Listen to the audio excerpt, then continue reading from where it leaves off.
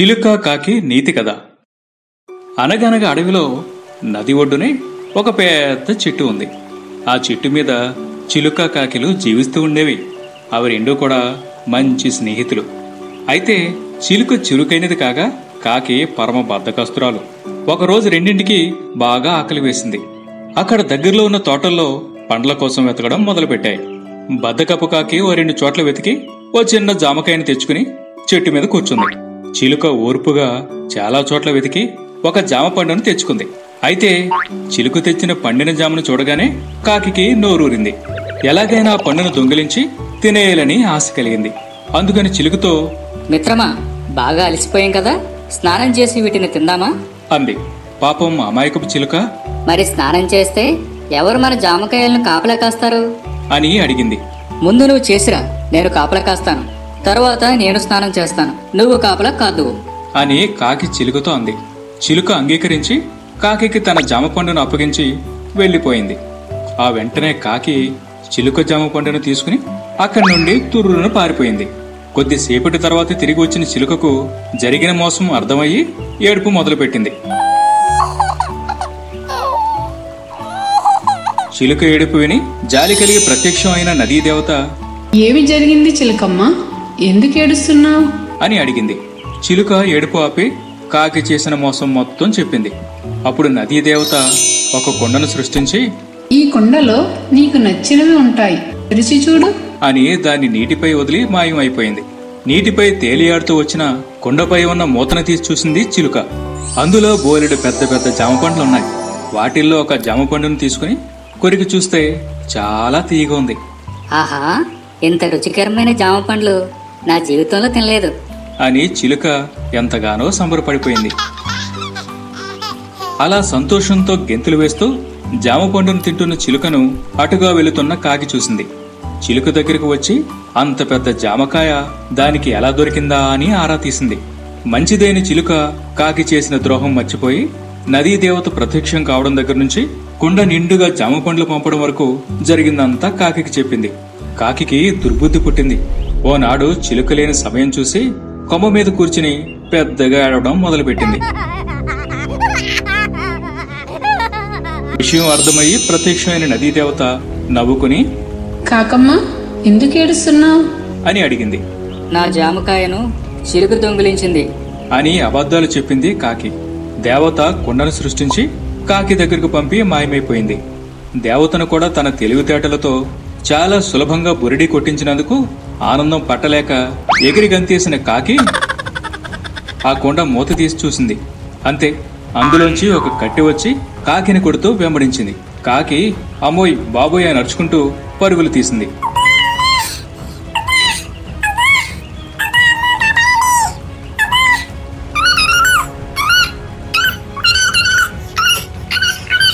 ఆ తర్వాత కాకికి తను చేసిన తప్పు అర్థమయ్యి ఎగురుకుంటూ చిలుక దగ్గరకు వచ్చి క్షమాపణ కోరింది. అవి రెండూ మళ్ళీ మంచి స్నేహితులు అయిపోయాయి. ఈ కథలో నీతి ఏమిటంటే మనల్ని నమ్మిన వారిని ఎప్పుడూ మోసం చేయకూడదు. కుక్క అత్యాస.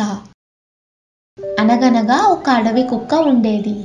ఆ కుక్క ఆహారం కోసం అడవంతా తిరిగేది. తిరిగి తిరిగి అలసిపోయి నీరసించిపోయేది ఏంటో ఎంత వెతికినా ఏం దొరకడం లేదు. ఇంకెన్ని రోజులు పస్తులు ఉండాలో? అని బాధపడేది. అయితే ఆ అడవి కుక్కకి ఒకరోజు మంచి మాంసం ముక్క ఒకటి దొరికింది. చాలా రోజులకు నాకు ఎంతో ఇష్టమైన ఆహారం దొరికింది. కానీ ఇప్పుడు దీన్ని ఎవరైనా చూస్తే లాక్కుపోయే ప్రమాదం ఉంది. అందుకే వెంటనే ఇంటికి వెళ్ళి గుట్టు చప్పుడు కాకుండా ప్రశాంతంగా దీన్ని ఆరగించాలి అనుకుని సంతోషంగా ఆ కుక్క మాంసం ముక్కను నోట్లో పెట్టుకుని తన ఇంటి వైపుకు బయలుదేరింది. దారి మధ్యలో పులి గాండ్రింపు వినిపించడంతో అటు చూసింది. ఆ పులి ఇటే వస్తుంది. అది నన్ను చూస్తే ఇంకేమైనా ఉందా? ఈ మాంసం ముక్కతో పాటు నన్ను చంపుకు తింటుంది అని వెంటనే ఒక చెట్టు చాటుగా నక్కింది కుక్క. తనను గమనించకుండా బాట గుండా పులి ముందుకు సాగిపోవడంతో మళ్ళీ ఇంటి వైపు నడక ప్రారంభించింది అడవి కుక్క. ఇంటికి వెళ్ళే దారిలో ఒక నది ఉంది. ఆ నది దాటుతుంటే నీటిలో కుక్కకు తన ప్రతిబింబం కనిపించింది. ఆ కుక్క తన ప్రతిబింబం చూసి అది వేరే కుక్క అనుకుని భ్రమపడింది. అరే ఆ కుక్క నోట్లో కూడా మాంసం ముక్క ఉంది. అది నాకే దక్కితే ఎంత బాగుంటుంది? ఎంచక్క రెండు మాంసం ముక్కలు రెండు రోజులు హాయిగా తినొచ్చు అని భావించింది. అది మాంసం ముక్క విడిచిపెట్టాలంటే ముందు నేను నా అరుపులతో దాన్ని భయపెట్టాలి. అనుకుంది. దాంతో నీటిలో ఉన్న కుక్క వైపు చూసి గట్టిగా మురిగింది. నోరు తెరిచిన వెంటనే నోట్లో ఉన్న ముక్క కాస్త కింద పడి నీటి పాలైంది. అయ్యో! ఆ ముక్క కోసం నోట్లో ఉన్న మాంసం ముక్కని కూడా పోగొట్టుకున్నానే! నిజంగానే ఇవాళ పస్తులు తప్పేటట్టు లేదు అని చాలా బాధపడింది. తర్వాత అడవి కుక్క నీటిలో ఉన్నది కూడా తన ప్రతిబింబమే అని నిజాన్ని గ్రహించింది. అత్యాశకి పోకుండా ఉన్న ముక్కను చక్కగా ఇంటికి తీసుకుని వెళ్ళి తింటే ఎంత బాగుండేది అని చింతిస్తూ మళ్ళీ ఆహారం వెతకడం మొదలుపెట్టింది. ఈ కథలో నీతేమిటంటే దురాశ దుఃఖానికి చేటు. పొగరుబోతు జింక నీతి కథ. ఒకానొకప్పుడు అడవిలో జింక ఒకటి ఉండేది. అది చాలా పొగరగలది. ఒకరోజు అది అడవిలో సంచరిస్తూ దాహం తీర్చుకోవడానికి నది దగ్గరికి వెళ్ళింది. శుభ్రంగా ఉన్న నీటిలో దానికి తన ప్రతిబింబం స్పష్టంగా కనిపించింది. అది నీరు త్రాగడం మానేసి తన ప్రతిబింబాన్ని చూసుకుంటూ నిలబడిపోయింది. ఆహా ఎంత అందంగా ఉన్నాను. పెద్ద పెద్ద కళ్ళు తమలపాకులు లాంటి చెవులు పొంపులు తిరిగిన కొమ్ములు బంగారు చుక్కలతో మెలమెలా మెరిసే చర్మం. ఈ అడవిలో ఎంత అందం ఇంకెవరికైనా ఉంటుందా? ఇలా తన శరీరంలోని ఒక్కో భాగాన్ని అందంగా వర్ణించుకుంటూ తన్మయత్వంతో పొంగిపోయింది. ఇంతలో దాని దృష్టి కాళ్ళపై పడింది. వెంటనే దాని ముఖం దిగులుగా మారిపోయింది. కాళ్ళు ఎలా ఉన్నాయేమిటి? సన్నగా పీలగా? వీటిని చూస్తుంటే నాకు చాలా సిగ్గుగా ఉంది. నా అందమైన శరీరానికి ఈ కాళ్ళు సరిపోవడం లేదు. ఇంత అందమైన శరీరాన్ని ఇచ్చిన దేవుడు ఎలాంటి కాళ్ళు ఎందుకు ఇచ్చాడు? అని ఎంతో దిగులు పడింది అప్పటి వరకు ఎంతో ఆనందంగా ఉన్న జింక మనసులో బాధ ప్రవేశించింది. ఈ చిన్న లోపం లేకుండా ఉంటే ఎంతో బాగుండును కదా? అనిపించింది దానికి. ఇంతలో ఏదో ప్రమాదం రాబోతున్నట్లు దాని మనసు హెచ్చరించింది. చుట్టూ చూస్తే ఎవరో వేటగాడు రహస్యంగా చెట్టు చాటున ఉన్నట్లు పసిగట్టింది. అక్కడి నుండి ఒక్కసారిగా పరుగు తీసింది. వేటగాడు కూడా జింకను వెంబడించాడు. తన బలమైన కాళ్ళతో చెంగు చెంగున అంగల వేస్తూ వేగంగా పరిగెత్తింది జింక. వేటగాడు వెంబడిస్తున్నా అలుపు లేకుండా సురక్షితమైన ప్రదేశం వచ్చే వరకు అలా పరిగెత్తుతూనే ఉంది. చివరికి ప్రమాదం నుండి తప్పించుకున్న జింక పరుగు ఆపేసి ఒక చెట్టు కింద నిలబడి అమ్మయ్యా ఎంత గండం గడిచింది? అనుకుంది. ఆ గండం తప్పించిన తన కాళ్ళ వైపు చూసుకుంది. అంతకు ముందు ఎంతో అందవికారంగా కనిపించిన తన కాళ్ళు ఇప్పుడు ఎంతో అందంగా కనిపించాయి. దేవుడు తనకు అలాంటి కాళ్ళు ఎందుకిచ్చాడో అనుభవపూర్వకంగా తెలిసి రావడంతో దేవునికి కృతజ్ఞతలు తెలుపుకుంది. ఆనాటి నుండి పొగరుని విడి అందరితో కలిసిమెలిసి ఉండేది ఆ జింక. మేక ఎవరిది? ఒకానొకసారి ఓ రైతు తన మేక పిల్లను చంకలో పెట్టుకుని అడవి దాటుతూ ఉంటాడు. అలా కొంత దూరం నడవగానే అతనికి ఓ బాటసారి తోడవుతాడు. ఆ మేక పిల్లను చూడగానే అతడు చాలా ముచ్చట పడతాడు. మేకపిల్ల చాలా ముద్దుగా ఉంది. ఎంతసేపటి నుంచి దాని బరువుని మోస్తున్నారో? ఇలా ఇవ్వండి. కొంత దూరం నేను మోస్తాను. అని తీసుకుని దాన్ని భుజాలపై వేసుకుంటాడు. అలా ఇద్దరూ కబుర్లు చెప్పుకుంటూ అడవిలో ప్రయాణం చేస్తారు. కొంత దూరం ప్రయాణించిన తర్వాత దాని బరువుని మోయిస్తూ ఇప్పటికే మిమ్మల్ని చాలా శ్రమ పెట్టినట్టు ఉన్నాను. మేకనివ్వండి. అన్నాడు రైతు. పర్వాలేదు.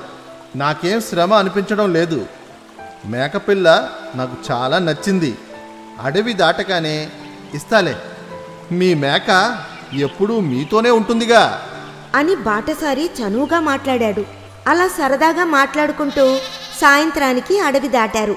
అయ్యా ఇక నేను వెళ్ళవలసింది వేరే దారిలో. అడగకుండానే నా బరువుని మోసి నాకు సహాయం చేశారు.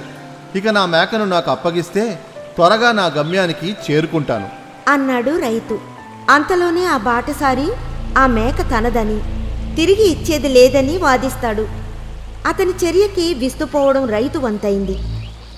ఇద్దరి మధ్య కొంతసేపు వాగ్వాదం చోటు చేసుకుంది. ఒకరేమో తనదంటూ దీనంగా అభ్యర్థిస్తున్న రైతు మరొకరు మేకను తన భుజాలపైనే ఉంచుకుని తనదే ఆ మేకపిల్ల అంటున్న బాటసారి. చుట్టూ జనం చేరుతారు. రైతు బాటసారి మాత్రం మేక తనదంటే తనదంటూ పోట్లాడుకుంటుంటారు.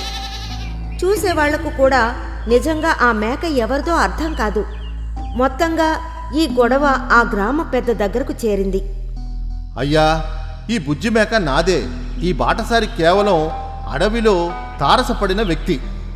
మంచితనంతో ఇరుక్కున్నాను. నాకు న్యాయం చేయండి. అని కోరాడు రైతు. లేదు లేదు ఇది నాది. రైతు అబద్ధం చెప్తున్నాడు. నాకు అన్యాయం చెయ్యొద్దు. అన్నాడు బాటసారి. ఆ మేకపిల్ల ఎవరిదో గ్రామ పెద్ద కనిపెట్టినా సాక్ష్యాలతో నిరూపించడానికి. ఆ మేక పిల్లని ఇక్కడ వదిలి వెళ్ళి ఈ రోజు సత్రంలో బస చేయండి. రేపు ఈ మేకకు యజమాని ఎవరో తెలిసిపోతుంది. ఆ రాత్రికి ఇద్దరు గ్రామ సత్రంలో బస చేశారు. తెల్లవారింది. ఇద్దరు గ్రామ పెద్ద ముందు హాజరయ్యారు. ఇద్దరిని మేకల గుంపు వద్దకు తీసుకువెళ్ళి బాటసారిని నీ మేకని తీసుకో అన్నారాయన అక్కడ అన్ని మేకల మధ్య తనదని వాదించిన మేకను గుర్తుపట్టలేక బిక్కమొహం వేశాడు బాటసారి. అదే రైతు మాత్రం వెంటనే తన మేకను గుర్తుపట్టాడు. బుజ్జి మేక కూడా యజమానిని చూసి సంతోషంగా అతని వద్దకు పరుగు తీసింది. వెంటనే బాటసారి అందరి ముందు చేసిన తప్పును ఒప్పుకుని క్షమించమని రైతు కాళ్ళ మీద పడ్డాడు. అందుకే అంటారు నిజం నిప్పులాంటిదని.